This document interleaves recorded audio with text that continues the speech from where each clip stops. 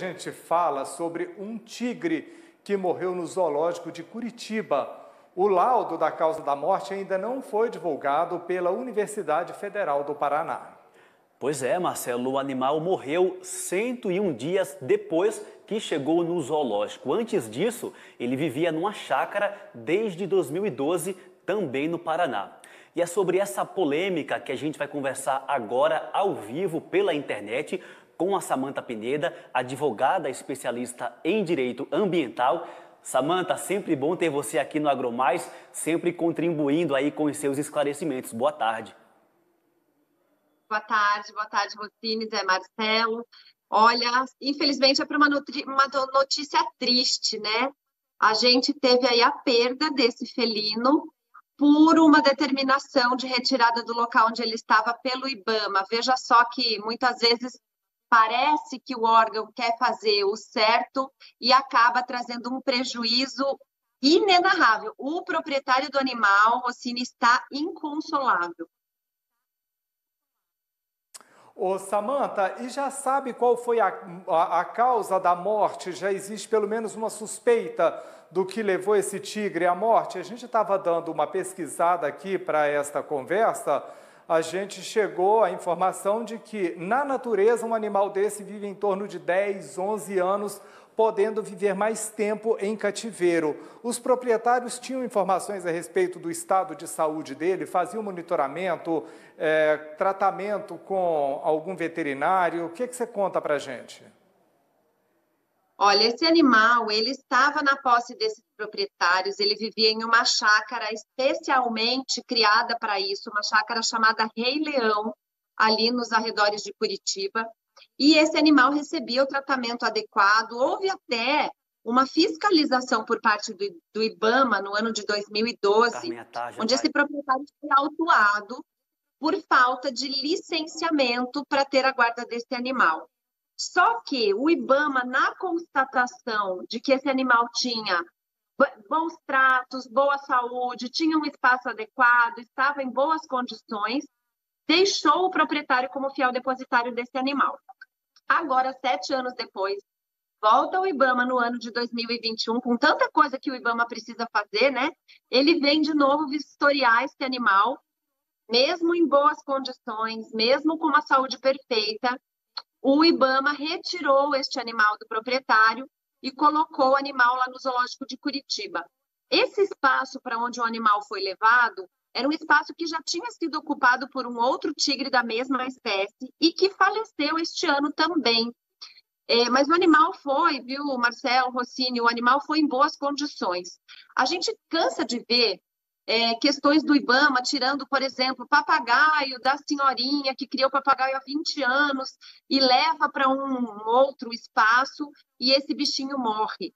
É, existe por parte desses animais silvestres que estão muito tempo no cativeiro um certo hábito, um certo, talvez até apego, é, um, uma forma de vida diferente da vida é, por exemplo, no zoológico ou na vida silvestre. Então, a gente precisa ter um pouco mais de bom senso. Enquanto isso, a gente está quebrando recordes de é, com, é, tráfico de animais silvestres, infelizmente, e a gente não consegue nem prender esses traficantes. Eles são soltos porque a lei de crimes ambientais para os traficantes é muito tênue. Então, é lamentável essa notícia, viu? Ô Samanta, e é justamente isso que deixa todo mundo intrigado, né? O porquê de o Ibama ter retirado o animal da chácara e levado para o zoológico. Certamente o proprietário deve estar completamente desolado após a perda desse tigre e certamente, Samanta, você aí como especialista em direito ambiental, certamente isso dá uma brecha para até um processo contra o zoológico. Como é que fica essa questão processual? É, já existe, na verdade, né? Quando veio a falecer esse tigre, imediatamente, na, na verdade, já existia um processo por parte desse proprietário para reaver o animal. O animal tinha condições adequadas, como o próprio laudo do IBAMA já tinha é, é, dado essa, essa constatação técnica de vistoria.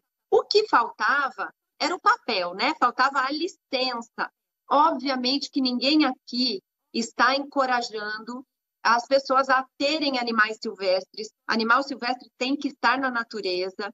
É, quem tiver animal silvestre, existe forma desses animais serem legalizados pelos órgãos ambientais. Então, há um trâmite legal para isso, ninguém aqui está incentivando a ilegalidade. Por outro lado, a gente quer incentivar o bom senso, né? É, esse animal já estava vivendo e já tinha sido constatada a falta dessa licença lá em 2012. Quer dizer, por que é que em 2021 veio o IBAMA para tirar esse animal desse local e colocar num local completamente diferente, sendo este um animal quase na fase é, é, terminal, assim, ele já tinha, como vocês viram, ele vive 10, 12 anos, ele já tinha 9 anos esse animal, então ele podia, já, já, esse hábito não podia ser mudado agora. Então, processual, ele já tinha sido é, requisitado processualmente, o dono tinha pedido novamente a guarda do animal, e agora certamente vai seguir uma ação de indenização, porque embora faltasse uma licença, não havia por parte do IBAMA uma forma de regularização. Por isso que a gente gosta tanto do Código Florestal. Ele oferece aos que estão ilegais uma forma de se regularizar. Quem tem um animal silvestre em sua posse hoje não tem forma de regularização prevista na lei. Isso é um outro defeito legal. E a gente não tem como separar o joio do trigo. Os traficantes não vão para a cadeia, mas quem tem esses animais em bom estado, talvez até salvando algumas espécies da extinção, não tem como regularizar caso estejam sem a licença. Ô Samanta, muitíssimo obrigado, viu, pelos esclarecimentos em torno dessa história. É claro que a gente vai ficar assim atento aos próximos passos. Agradecemos mais uma vez a sua presença sempre tão importante aqui no AgroMais. Samanta Pineda, advogada especialista em direito ambiental. Obrigado, Samanta. Obrigado, Samanta. Boa tarde para vocês.